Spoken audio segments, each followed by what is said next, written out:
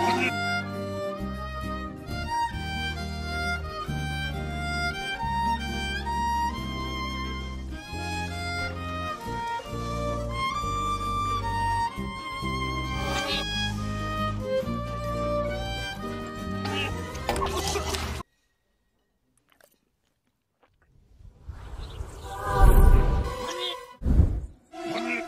following day, his review appears. Shit. You're fired!